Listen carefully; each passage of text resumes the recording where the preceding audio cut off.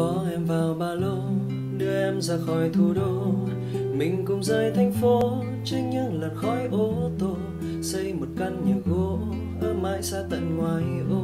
Vứt hết những bao tô dưới chôn hà nội đông đúc số gạt bỏ một viên đằng sau, mình sống như là đèn vông.